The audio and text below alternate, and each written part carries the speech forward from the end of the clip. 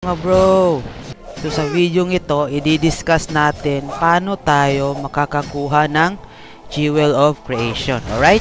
So itong Jewel of Creation mga bro, ay maraming use cases. For example, gagawa tayo ng uh, stat fruit at saka mga wings. Alright? Yan lang ang iilang mga use case ng Jewel of Creation. So, paano na ba tayo makakakuha ng Jewel of Creation mga bro? So, first ay dito sa Courage Trial, alright? So, ang Courage Trial ay makikita natin to dito mga bro. Tap natin to dito. Tapos, dito sa Daily Goal. Tapos, tap natin tong Courage Trial. Alright mga bro? So, every 10 levels, makakakuha ka ng Jewel of Creation. Alright, mga bro? Sample dito. Then, sa dito. Alright? So, every 10 levels, makakakuha ka ng Jewel of Creation.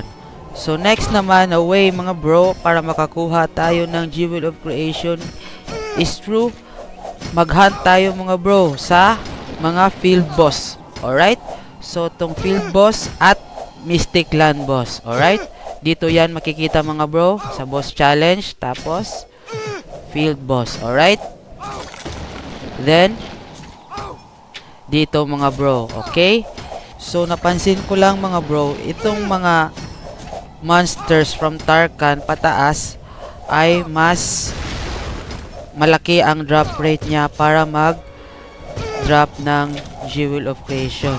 Alright? So, dito sa mga maliliit na level na mga boss ay wala pa akong na-try na nag-drop siya ng Jewel of Creation kahit dito may nakalagay. Alright?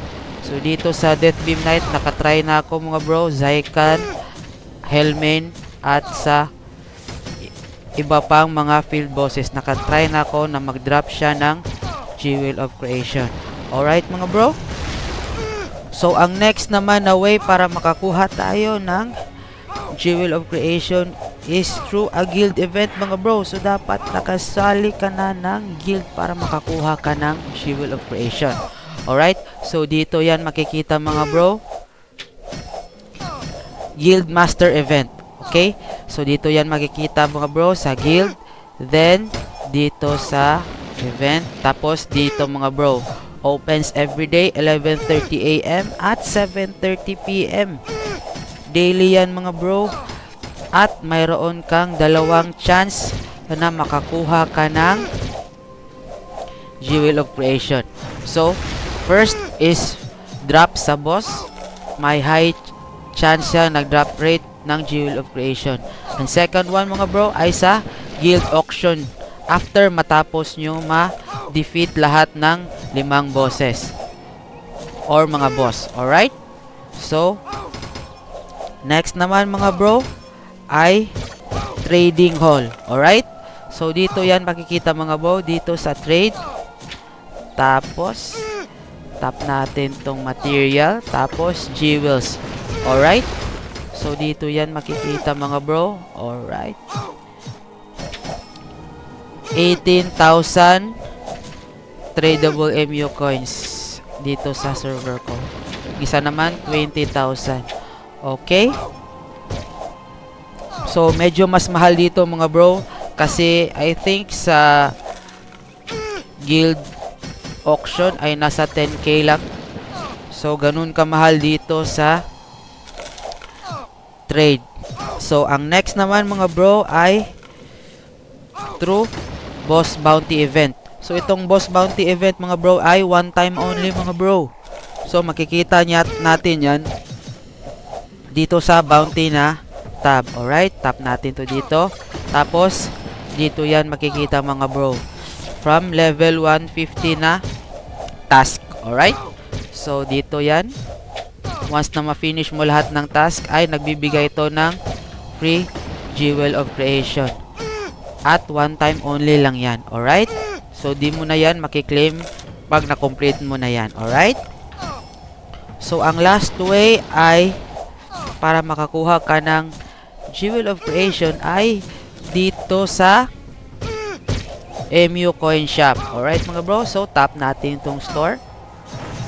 Tapos dito sa bestseller, tapos makikita mo na yan agad ang Jewel of Creation. Alright, may daily limit of 8 purchases a day at it costs around 20k MU coins. Pero okay lang yan mga bro kasi ang una niyang gagamitin dito ay yung bound MU coin o yung mga non-tradable MU coins mo. Alright mga bro?